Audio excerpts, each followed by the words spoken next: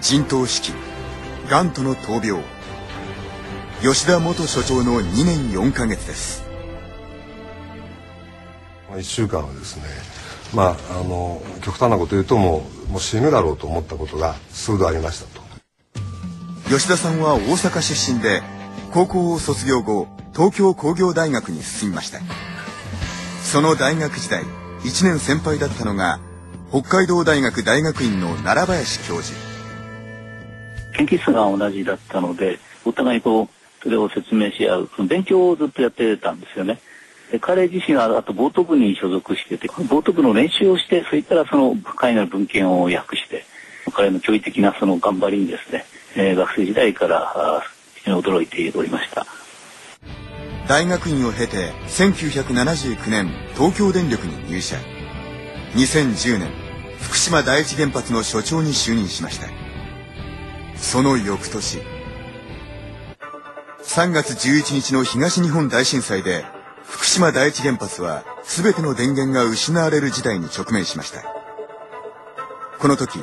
収束に向けて最前線で指揮を執ったのが吉田さん。東京電力の本店と連日テレビ会議で対応を協議しました。だから聞くやつが違う。責任者が答えろってんだよだからだったく。分かる分かんないって聞くなそんなもん。このドタバタの中にさその物資が来ない運ぶ手段もない。そういう中でギリギリみんなやってんだからさ、はい、そんなきれい事言ったってできないものはできないんだよ。普通のプラントじゃなくなったんだから。もう全全社的にもあの変えてやらない限りできませんよそんなことは。僕は社長に申し上げますけれども。混乱する現場で苛立ちを募らせる吉田さん事態は深刻化していきます。本店本店。はい本店。本店本店。大変です、はい、大変です。はい、はい、3号機。多分水蒸気だと爆発が今起こりました。はい。はい。緊緊急連絡。11時。1分です。11時1分。了解。緊急連絡します、はい、あの建屋の免震重要等じゃわからないんですけどもあの地震とは明らかに違う横揺れと縦あのが来ましてですね、ええ、あの後地震のような後揺れがなかったということで多分これは1号機と同じ爆発だと思います。はい了解。パラメーター見てくれ3号の。パラメーター。先ほど来た重曹に問い合わせてあと現現場の現場の人のは対対現場の人、はい、現場から上がらせられるか緊急にあの関係箇所にすぐに連絡して3月14日3号機が水素爆発。2号機にも危機が迫っていました。そのため放射性物質を含む水蒸気を外に逃がし原子炉の圧力を下げるベントを行うことに。吉田さんにさまざまな指示が飛びます。おい吉田。ドライヤルベントできるようになったらもうすぐやれ。早く。はい。余計なこと考えるな。こっちで全部責任取るからもうもう一面あるからさ両そっちは空いてるのかい？もうあのいろいろ聞かないでください。ドライウェルベント今開ける操作してますんで disturb しないでください。東京電力の本店に対して声を荒らげた吉田さん。同じ日現場の作業員に対しては。ちょっと落ち着きましょう。一回ここで深呼吸してえー、冷静になってじゃあみんなみんなで深呼吸しましょう。息を吸って吐いて。その吉田さんを取材し原発事故の本を出しているのがノンフィクション作家の門田隆翔さん。会社組織の人間ってやっぱり上を見ていろんなことをやるんだけども吉田さんっていうのはそういう人じゃなくてそれを超えた存在だったということでね非常にあの部下たちがこの信頼してましたね。それは彼の人間的な魅力がなければそれはあの動かないですよ。それをみんなが言いましたね。吉田さんとなら俺は死ねるんだ。その吉田さんにとっての大きな決断。それは原発への海水注入でした。東京の本店から中止を指示されたにもかかわらず注水を続けたのです。本店から海水注入の中止命令が来るかもしれない。しかし、それを聞き入れる必要はないからな。お前たちは、そのまま海水注入を続けろ。いいな。海水の注入を止めるのは危険と判断。本店の指示に背く形で注水を続けたのです。海水注入をストップしたらこれはもう冷却手段がなくなるわけですからその海水注入のその班長に対してそーっと歩いていってですね。吉田さん体大きいもんですからねぐっとこうして、あのカメラから隠してですね、国民を助ける電力事業者として事態を収束させるために冷却しなければならないその本義が揺るがないわけですね。吉田さんの大学の先輩で原発に詳しい奈良林教授は。水を入れ続けましたよね止めたということにして。だからやっぱりそういうことはですね専門家としてのその知識を持っているということでやはりその信念を曲げなかったということは非常に正しい判断だったというふうに思います。海水の注入を独断で続けたことでさらなる被害の拡大を食い止めたと評価されています。その一方で吉田さんは東京電力に勤める当事者として責任を感じていたといいます。ビデオメッセージでは。日本国中の皆様に多大なるご迷惑をおかけいたしておりますことを深くお詫び申し上げます。福島県によると現在県内に避難している住民はおよそ9万5千人。県外にはおよそ5万3千人が避難しています事故から8ヶ月が経った2011年11月、吉田さんは現場を離れます。健康診断で食道がんが見つかったのです。お気持ちとしては、また戻りたいってお気持ちがやっぱり強かったんでしょうか、これも戦友って言ってましたね。事実上、戦争をやってた、戦争というか命を懸けるという意味で、命のやり取りをしてるような感じだからその部下たちをやっぱり戦友だと思ってましたね。だからその戦友と別れることが非常につらかった。治療に専念することになった吉田さん。当時東京電力は被爆から食道がんの発症までは通常少なくとも5年かかり事故との関連性は極めて低いと発表していました。この写真は去年7月に撮影された吉田さんです。当時、癌で療養中でしたが、撮影の10日後、脳出血で倒れ、再び手術を受けました。それからおよそ1年、昨日の午前11時32分、亡くなりました。東京電力広瀬社長は。本人からは、再び私どもと一緒に、福島の復興に尽くしたいとの強い気持ちを聞いておりました。持ち前の明るい大きな声で、陣頭指揮を取る姿に出会えることを心待ちにしておりましたが、東京電力の再生に向け、共に働くことができず、無念でなりません。また安倍総理は、大変な努力をされたと思う。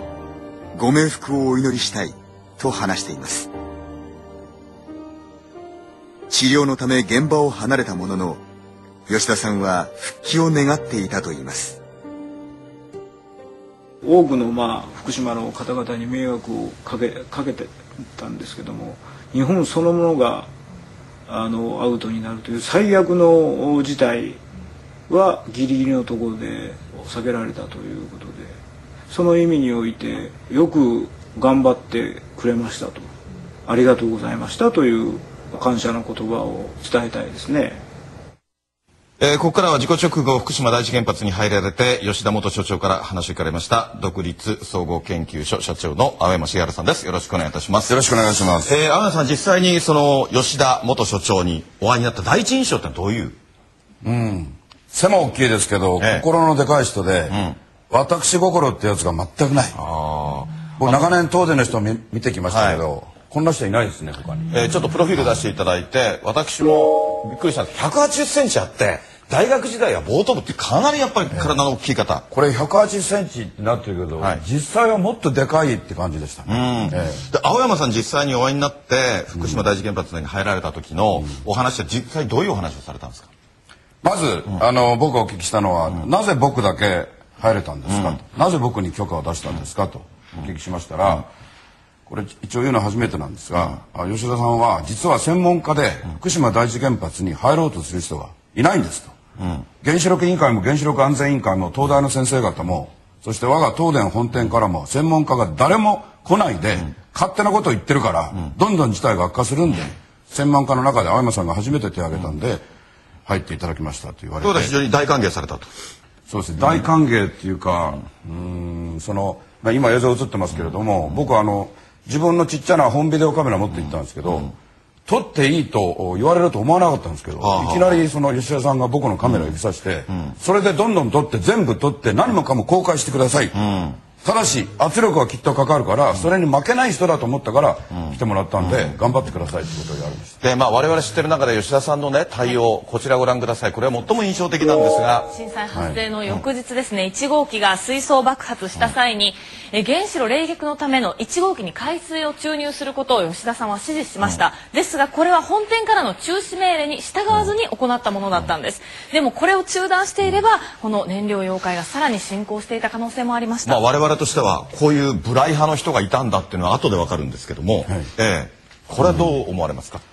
これはね吉田さんがここにいなかったら、必ず海水による冷却中止してるんです、どうしてかというと、実は菅総理をはじめ政府側からもまあ先入観と思い込みでやめろって言ってきたけど、東電本店もですね、海の水入れちゃったら腐食して原子炉がダメになると、この段階でまだそれを心配してたんですよ、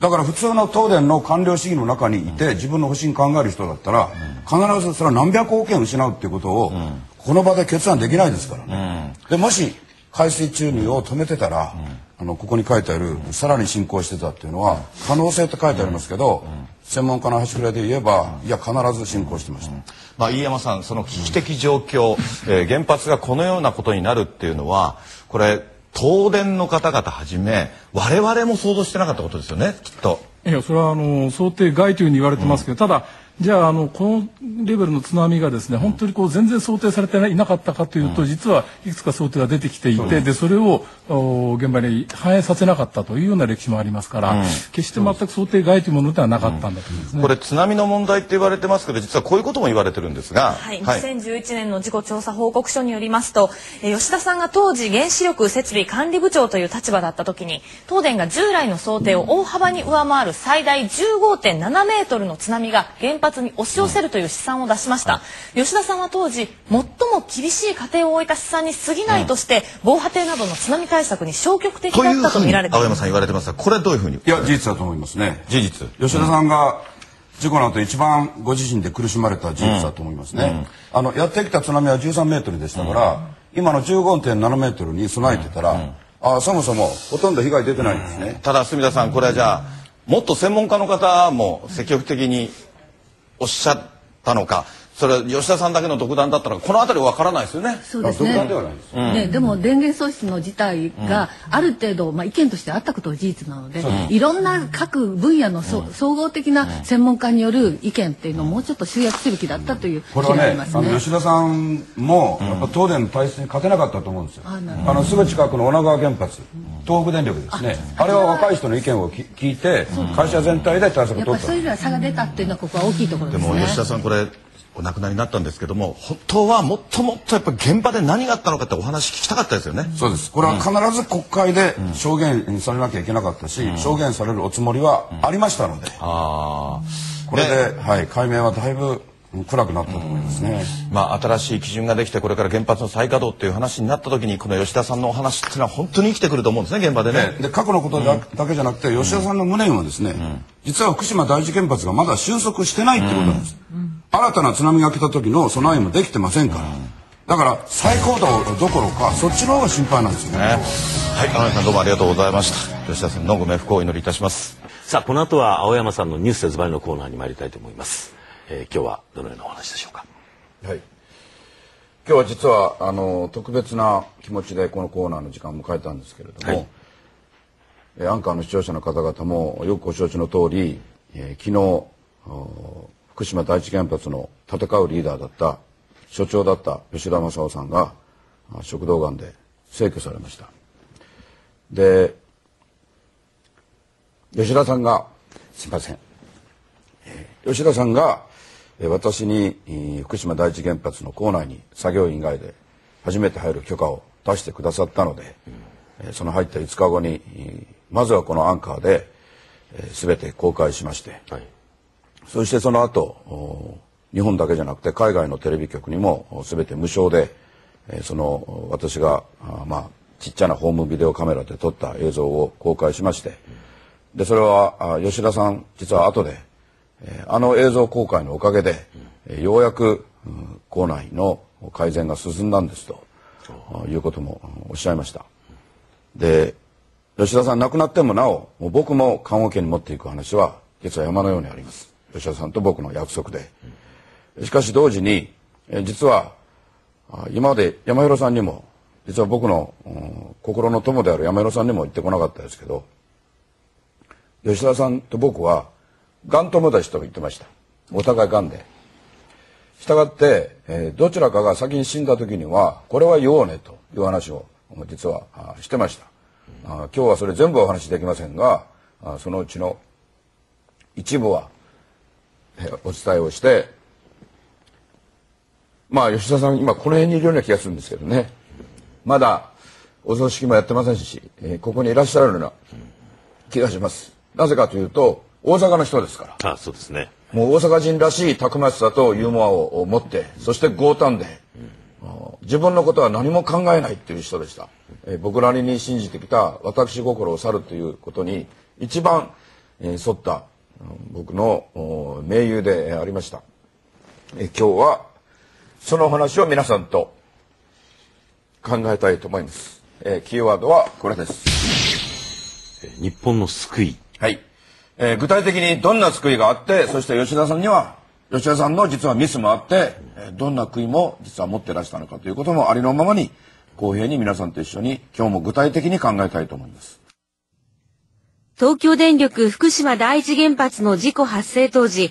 所長として事故収束の陣頭指揮を取っていた吉田正夫氏が昨日食道がんのため死去しました。58歳でした。1週間はですねまあ、あの極端なこと言うともうもう死ぬだろうと思ったことが数度ありましたと。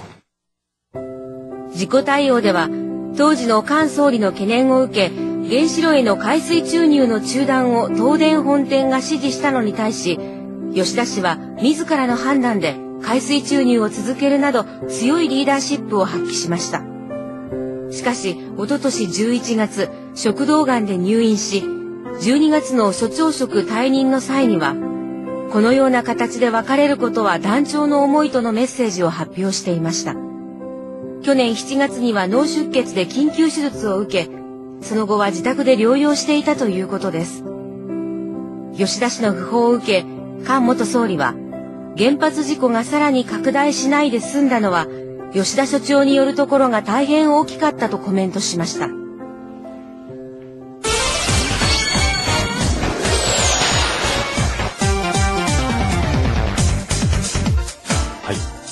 もう一度元気な姿でとの願いも虚しく東京電力福島第一原子力発電所の吉田元所長は昨日お亡くなりになりました。吉田元所長が伝えたかったことは何なのかそのメッセージ今日は青山さんから解説していただきます。はい、えー、この水曜アンカーのこのコーナーやるために毎週僕は火曜日に大阪に入りましてえー、山浦さんや村西礼ちゃんも含めて、えー、もちろんスタッフの方々と総勢8人ぐらいで、えー、堀田さんももちろん入って、えー、たくさん議論をするんですね。でその議論の結果今日の最初のこのいわば絵が吉田さんからのメッセージとなってるっていうのは僕は実はすごく嬉しいです。その通り、えー、わずか58歳で違う世界に行ってしまおうとしてるけれどもしかし全身でメッセージ残されました。そのメッセージを皆さんと一緒にいわば読み解きたいと思っています、えー、まず最初にこれをご覧ください。2011年4月27日のこのコーナーで青山さんが撮影した福島第一原発の様子を放送しました。吉田さんに会われたのが4月22日だったんですね。そうです、えー、2011年3月11日に、えー、東日本大震災が起きて、えー、そしてその地震が起きた40数分後に大津波がこの福島第一原発にも実は北の女川原発福島第二原発南の第二原発にも押し寄せてきてその中で第一原発がこの無残な事故に至っていくんですよね。はい、でえちょうどそこから1か月ぐらい後に、え僕は警察庁からのアドバイスもあって警戒区域が入れなくなる前にこれ被災地を全体見て回りまして福島第一原発の専門前にも行ったんですね。そしたら「入りますか?」と聞かれてえ場合によっては入れるのかと思ってびっくりしたんですが作業の邪魔したくないってお断りをして戻ってそのこともアンカーでかつて話したと思うんですね。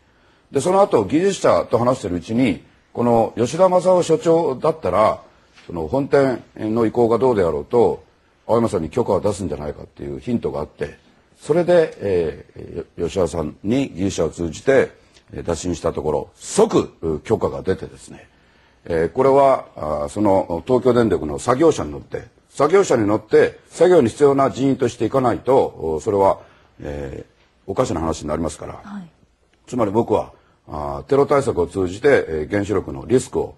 どうにかする専門家の端くれですからその端くれとして入りましてそして、えー、吉田さんとこれ、えー、まず最初に握手しているところなんですが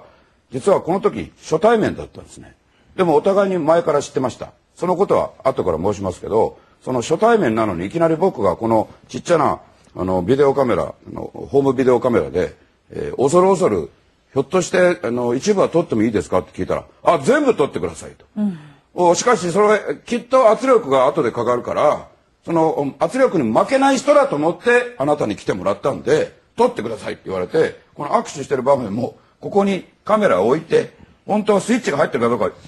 ほとんど自信がなかったんです。これあの眠い画面にぼんやりしてる画面になってるのを被爆を避けるために当時非常に線量高かったですからのビニールでぐるぐる巻きになってるから、はい、そのカメラを置いて僕たちが握手しているところを撮ったんですね。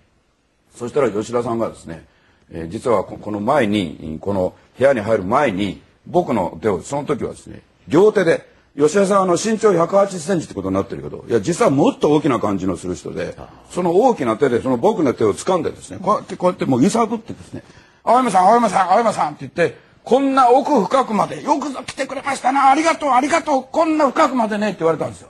でその時に僕はなんでこんな奥深くってことを強調されるのかと思ったら本当はその後で吉田さんが実はおっしゃったのはさっき言いましたどちらかが死んだらこれ言おうねっていう話のうちの一つなんですがなんと我が祖国においては日本においてはですねこの福島第一原発がこんな現状になってるのに専門家の中って誰一人入ろうという人がいなかった。オファーがなかったと。原子力委員会。原子力委員会って今もあるんですよ。それから今潰された原子力安全委員会。そして東京大学の先生方。そして吉田さんこうもおっしゃいました。我が東京電力の本店の連中も全部安全な東京にいてそこから勝手な指示をしてくるから実はどんどんどんどん無残な事態になるんで誰か専門知識のある人で中に入りたいって人はいないのかと思ってたら前から関心持ってた青山さんあなたが手を挙げたんで私は許可を出したんですと言われたんです、そうやって入って撮った映像もうあのギュッと短くせざるを得ませんけどそれを見ていただけますか？福島第一原子力発電所の専門に近づいてます。みんなキビキビとモラル高く仕事をしてるなという印象ですやがて青山の前に姿を現したのは放射線を遮断する機能を備え福島第一原発内の緊急時対策本部が置かれる免震重要棟という建物お疲れ様です。お疲れ様です。出迎えてくれたのは福島第一原子力発電所の所長吉田正夫さん。すごい。ここが事故に対処する最前線緊急時対策本部事故の拡大を防ぎ事態の収束に向けて全力で作業する人々の素顔がそこにはありました。ちらが一応センターテーブルでございまして復旧だとか発電だとかそういう班の班長クラスがここにおりまして。なるほどはい。いや思ったより広いですね。広いのは広いんですけどもこれ、えー、一番大変な時はここに600人ぐらいえこれ正面の道路があの2号機と3号機の間の、えー道路になりましてあのすすぐ先が海になっていますいやー凄まじいなここの現場は。ちょちょちょっとできたら止まれます？はい。わかりました。はい。えーとじゃあ次ここっち側がですね左側に見えてくるのが4号機です。これが4号機ですね。今はい津波に襲われ破壊された4号機の原子炉建屋への搬入口。3号機では使用済み核燃料プールへの注水作業がこの日も行われていました。根こそぎ、えー、むしろ取られたようになってたりクレーンとかあるいはそのトラックの残骸はい。地面にこう突き刺さったみたいな。わあこれはすごいですね。我々のできる範囲、発電所ととしてわ私が率いてるメンバーでできることはもう一生懸命やるつもりですけども、やはりそこにい。ろんな形でサポートしていただくとい。うことがあって初めて成立する工程だと思っています。はい。えーよろしいですか？あの皆さんさっきあの免震重要棟のお2階部分にある緊急時対策本部っていうのを見ていただいたんですが、あそこにあの床にこういっぱい作業員いらっしゃったでしょ？で床にいらっしゃる方々は一番普通の作業員ですよね。机に座ってるのはある意味こう偉い人ですよ。座ってる。でその座ってる作業員って僕が確認しただけでもお一番若い人19歳まだ。それから一番年上の方は67歳でその定年になってるのに吉田さんが頑張ってるならそして日本のために頑張ってるんだってこの言葉言われました。日本のために頑張ってるんだと思って俺も日本のためにやろうと思ってここに来たんですって人たち。そしてその19歳の人はですねこれはあの全ては言えないんですが要するに暴力団の関係者だと自分で名乗って俺は高校を中退してからずっともう曲がった人生やってきましたよ。で俺は組の手配でここに来ましたけど来てから人生変わったっすよと。パーマさんと一緒にいるその吉田さんとかあのあの親父この親父もね自分のためにやってる人一人もいないですよ。みんな人のためにやってるんですよ。チェルノブイリと違うってことを証明しようとしてみんな一生懸命やってるんですよ。俺人生変わったですよって言ったんですよ。僕は吉田さんだけじゃなくて吉田さんってリーダーの下にいる人たちがその19歳の作業員の方までどれほどいわば良い感化を受けているか。そしてですねそのこう床に座ってる人たちがの大きな吉田さんの背をこう見上げてますよね。その目がね本当に憧れの目で見てるんですよ。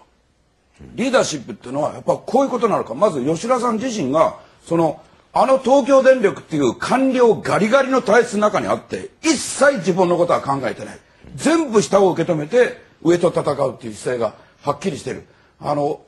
リーダーがあるいは人間が仕事をするっていうのはどういうことなのかがよく分かりました。でその上でですね、えー実は吉田さんはあの僕に専門家の端くれとしての意見もいろいろ聞かれました。でその過程で実は相談しながらあの校内でどこを見るかってこともやりました。で吉田さんは吉田さんでこの不詳僕のことを心配してくれて青山さんはその突進していくだろうと。しかしあの線量の高いところがありそして特にさっき映像で見てもらった海側のところはまだ誰も入ってないと。したがって車が入って作業車が入っていく時にパンクするかもしれない。でそれはもう自分も判断できない。青山さんの様子を見てその一緒の作業車に乗る他に3人一緒に乗ったんですよね。運転手さん助手席もう一人そして僕ここです。こうやって4人乗っててその3人がどういう判断するかあいつらの判断に任せてやってくださいって言われたんです。そして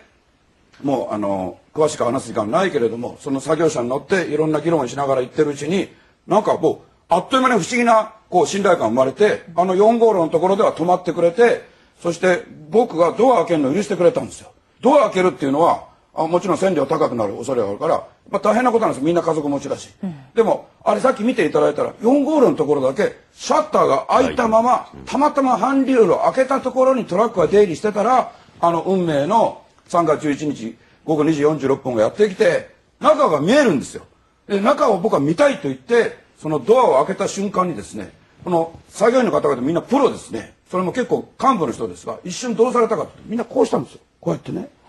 ええ、これあの腕で隠したって放射線ですから何の意味もないんだけどこうやって隠す、まあそそれぐらいのお状況だったんです。で海側に回って実は重大なことが分かったのはあの福島第一原発は運営に立ってます。日本の原発は全部そうだけど。でも例えば浜岡原発だったらその原子炉の建屋が海に一番近いんですよ。ところが福島第一はその海に一番近いのは例えば巨大な給水タンクであったり他の施設が建っててその後ろに実は原子炉があるからその津波は前のやつを全部壊した。だから原子炉自体はだから爆発に至らなかった。建屋だけの爆発で終わったっていうのはそれがあったんですよね。だから何を言ってるかというともう一度津波がもし同じ、ところから襲ってきたら今度は防いでくれる建物は今もないんですよ。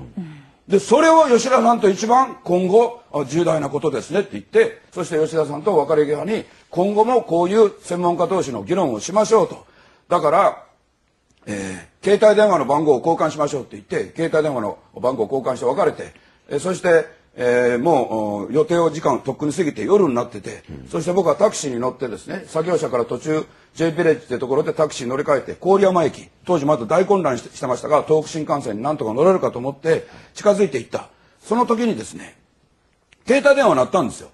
で真っ暗なタクシーの中からポケットで携帯電話出してみたらさっき交換した吉田正夫所長の番号だから僕はやっぱり長年の記者生活もあって、はい、もうピンときたのはああこれはつまり吉田さんからそのもう来ていただいたのは本店に報告しましたと、うん、そう本店はいやもう入っちゃったことはしょうがないと。しかし撮った映像は公開させるなと言われたなと思って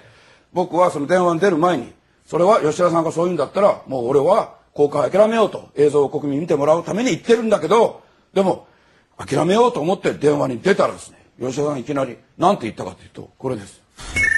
今日は意義のある良い議論ができましたな。いろいろあるけれどもお互い頑張りましょう。これあの今りえちゃんがきれいに読んでいただいたんですが吉田さんのちょっと真似をしますとね今日は意義のある良い議論ができましたな。いろいろありますよ。いろいろあるんだよ。いろいろあるけれどもお互い約束した通り頑張りましょうな。って言って僕はほとんど返事しないままガチャッと切れたんですよ。それでいろんなこと分かりましたね。つまり周りに人がいるってことも分かった。そしていろいろあるってことを強調されたのはあ圧力がかかったんだなと映像を公開するなと圧力かかった。しかし青山さんあなたに入ってもらったのはそれと戦うためだよと、うん、あなたも命かけて頑張ってくださいあそういう電話だなすごいなこの人はと思ってですよ。そして今日はもう後日談だから言えるけどその後分かったことはですねこれ午後6時頃ですよね、はい、このあと1時間後に午後7時頃に政府と東電の当時あったあ統括本部ってやつの全体会議をやってですね、えー、その時に当時の経済産業大臣がその青山氏が入ったってことについては、うん、テレビに出ている方でもあるから、ねえー、予期に配慮するように本人に伝えますと言ってるわけですよ。会議で。つまり僕に圧力をかけるとその会議で言ってるわけですよその1時間前にかけてきた、ね、吉田さんはもうそれを踏まえて青山さんこういうことが起きますよって意味だったんですよそれがそして経産大臣から直接僕に来るんだったらまだいいんですよ。ね。それはもう堂々と渡り合いますから。ところがそうじゃなくて、なんと経産大臣は東京電力に、お前らがやれと。うん、そして東電の大幹部から僕に対して、その入ってしまったのはしょうがない。予想した通りの言葉が出てきて、映像の交換なさると。青山さんのためにもなりませんぞって言うから、この辺から大噴火です。ためにならないってどういうことですかね。やれならやってみろと。公開するために行ったんです。全部無償でテレビ局出しますからあのどこの局にも流れます。行ったらその後何が起きたかというと当時の政権はですねなんと原子力委員会担当の副大臣から僕に圧力をかけてこられたからだから僕はあなたは何の権限があるんですか？私は原子力委員会の専門委員だけど委員じゃない、委員は任命されてなるけど専門委員は政府に問題提起するためになるんでこちらから文句言う立場で。副大臣のあなたに指図される言われはないと言いましたら、あ、権限はないんです。権限はないんだけども、言ってこなきゃいけない。ね。で、これ何が起きたかというと、東電使ったら東電は跳ね返された。副大臣も跳ね返された。挙句に当時の政権何したかというと、警察に逮捕しなさいって言った。うん、ところが警察の側に、日本は吉田正夫さんだけじゃなくて、必ずそれぞれの場所に不祥事だらけの警察でも良心派がいて、吉田正夫所長に、えー、校内に入る入らないの許可を出す権限があると。正式な許可が出てるのに逮捕なんてできませんって。言って断った。そのおかげでですね実は今もうこうやってアンカーに出られてるわけですよ、そしてその上でその後ご承知の通り食道がんを発病されて、えー、その手術の直前に実は僕にこんな長文のメールをくださいました。はい出してください。去年の2月5日に吉田さんが青山さんに送ったメールです。代読します。青山茂春様東京電力の吉田でございます。随分とご無沙汰をしており申し訳ありません。中略。ご存知のように食道がんで入院しており来週手術を予定しております。がんのステージは3ですが食道を切除するとなるとなかなか大手術になりますので万が一のことも考えこれまでの青山様のご支援や温かいお言葉に感謝の意を示すためにメールさせていただきました。これ後も続くんですがちょっといいですか？ここ中略って書いたのはですね実は吉田さんの言葉であなたと会えないように東電から邪魔が入ってるって人のことが書いてあった。実は僕なりに調べました。吉田さんの言うことだから全部鵜呑みにするわけではありません。友達は友達だけども鵜呑みにするわけじゃない。確認したところその形跡はどうしても確認できなかったんでここはあえて省略しました、うん、そしてもう一つ万が一のことも考えこの時すでにひょっとしたらと今日のことをお考えになっていたんですねだからこの後その本音の言葉が続きますはいお願いしますあの戦場のような最前線に青山様自ら来ていただき、テレビで状況を報告していただいたことが、現場の環境の改善や国民の皆さんの意識の変化につながったことは言うまでもありません。そしてテレビで発信していただいたお言葉が今の平和ボケした学者や評論家に喝を入れていただいたものと思っております。党の平和ボケ者たちは自覚していないでしょうはい、これ吉田さんの言葉に2回もテレビってことが出てくるんですね、はい、すなわち情報の公開国民に情報が伝わる一体どんな現場なのか伝わるっていうのがどれほど大事かってことを吉田さんお考えになってたってことです。現場の環境の改善というのはですね作業員の環境作業環境少し良くなったという意味に加えて実は東電本店やその経済産業省や総理官邸から無茶ぶりが少しあの後減りましたってことを実際はおっしゃってるんです。ね吉田さんの後で聞きますと。そして国民の皆さんの意識の変化。これをこれを本当にあの視聴者の方々見てほしいですね。吉田さんは誰に期待してたのか。不詳僕ではなくて僕を通じて国民が事実を知ったら日本国民に信頼を置けばこの事態を乗り切れるというふうに吉田さんはお考えになっていたんです。この後も出してください。本当にありがとうございましたそして青山さんご自身が体調を崩されながら頑張っていらっしゃることもホームページで知りました。ご自愛くださいますよう祈っております。私も必ず病気から復帰し平和ボケしたそしてすべきことがなかなか進まないこの国に何らかの貢献ができないかと考えております。青山の野郎も体調を崩してるっていうのはまあがん仲間、えー、僕は実はがんを切ってまだよくつながってない状態でそのコーナーに行ったんで、えー、この頃はそうでもなかったんですけど吉田さんは吉田さんで僕の大腸がんのことを非常に心配してくれてたんですね。はい次行ってください。事故がなくともお会いしていたことになりますが事故でより深くお付き合いできたものと考えております。この縁を大切にしたいと思います。復帰は手術後しばらくかかると思いますが青山様のご活躍をお祈りし復活し次第また連絡させていただきます。何はともあれ本当に本当にありがとうございました。吉田正夫はい。もう去年の2月5日からもうお別れの言葉なんですよね。本当ですね、えー、それは非常に辛いですけども事故がなくともお会いしていたことになりますがと吉田さんお書きになっているのは実は東京電力の幹部からこの事故の前にですねたまたまもう天は本当にの興味いろんなこうあの不思議な巡り合わせを作られるんですけどね。その東日本大震災が起きる前に東電の幹部とたまたま雑談してたら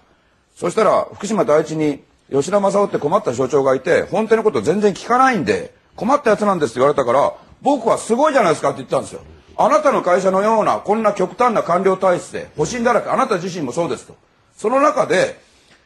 上に立てつきながら福島第一の所長になれるすなわち執行役になれるっていうのはよっぽど下の信頼が厚いんだと言ったらですね東京電力ってある意味すごく真面目な会社だからそこまで言われた人がそのままなんと文書にしてですね吉田正夫さんのところに届けてくれたんです。で吉田さんは吉田さんで原子力委員会の議事録なんか見てたら原発のリスクを国民に伝えろって言ってる人が一人いると、前から会いたいと思ってたと。だからお互いに会ってしかもお互い大酒飲みらしいから酒も飲んでやりましょうって言ってたらあの事故が起きたんですよね、そして、えー、事故でより深くお付き合いできたものともう格言になっちゃってますけど僕は実は今考えてるのは吉田正夫さんの魂魂魄はまだ穴に行かないで福島に行かれてると思います。慶応病院から福島にまっすぐ行かれたと思う。すなわち、えー、僕も今後もずっと吉田さんの魂と一緒に無念を晴らしていきたいと思うんです。ですから後半はどんな無念を晴らさなきゃいけないかということを皆さんと一緒に考えたいと思います。キーワードはもちろんこれです。ここでズバリキーワードは吉田さんの無念吉田元所長にどんな無念があるのかこの後詳しく解説していただきます。亡くなった吉田元所長の胸にはどんな無念があるのか引き続きお願いします。はい、えー、吉田正夫さんほどのリーダーであっても実はいくつか悔い後悔することをお持ちでした。その中の一番大きかったものはこれです去年7月23日に出された政府の原発事故調の最終報告書には吉田さんが2008年に大津波の試算結果を知りながら福島第一原発の津波対策を行わなかったと書かれています。はい、えー、実は2008年の段階で、えー、東京電力の内部の試算で15.7メートルの高さの津波が福島第一原発を襲う可能性があるということが出た、うん、でその時に吉田正夫さんは東京電力本店の原子力施設管理部長だった。部長としてこれは最悪の想定に過ぎると言って実は対策を行わずっていうか少なくとも延期したんですね。で吉田さんの悔いは実はこれだけじゃないんですけれども吉田さんが生前常に心配されてたのは自分で全部責任取れればいいけどそのこの判断も実は一人でしたんじゃないですから。その他の人間のことまで言われるので自分が責任をちゃんとかぶれるようになってから国会で証言したいっていうのが本当は吉田さんの願いでした、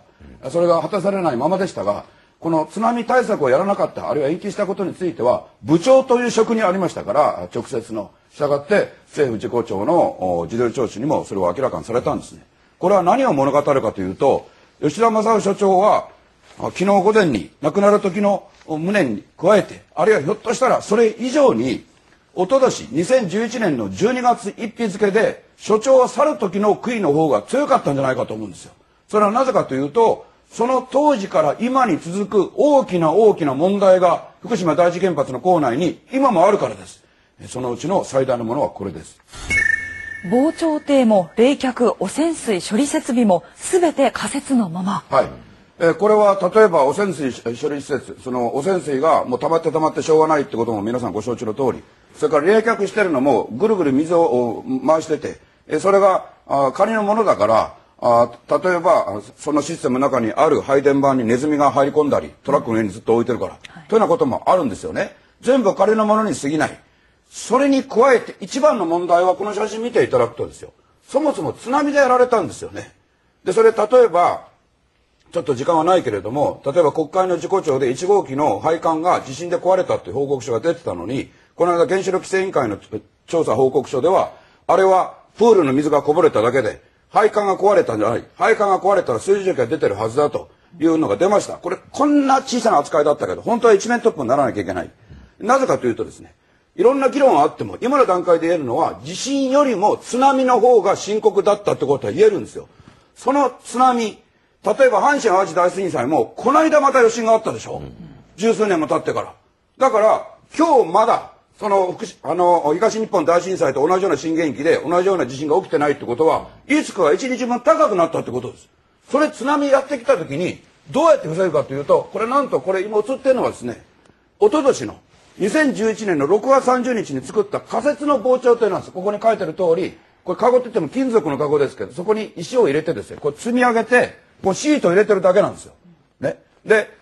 これ、一昨年の6月末に作ったまま、今も仮説のままにやってるんですよ。だから吉田さんは僕に電話で、これはメールじゃなくて電話で何度もおっしゃったのは、これを本物の、その、傍聴艇にしなきゃいけない。私がやらなきゃいけない。なんで吉田さんでないとできないかというと、公認の所長さんたちは普通の東電の官僚主義の中にある人だから、信じがたいことに役所はですね、書類を出せと。中に新しい構造物作るんだったらその書類を出してその書類審査に1年かかると。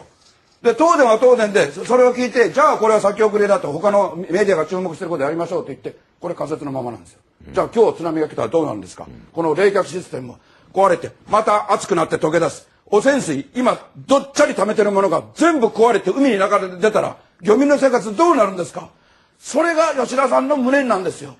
はい。でそれを考えると吉田さんが国民に知っていただくってことが大事だとおっしゃったのはまさしくそれであって僕はその吉田さんの意思を継いでいきますがこのそんな書類審査にかまかってる場合じゃなくてみんなで役人も学者も連携をして